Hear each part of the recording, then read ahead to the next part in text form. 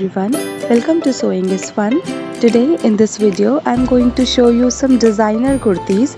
So next time when you are going to prepare your own designer wear or giving it to your tailor, just keep in mind all these designs. So let's quickly get started. Hi everyone.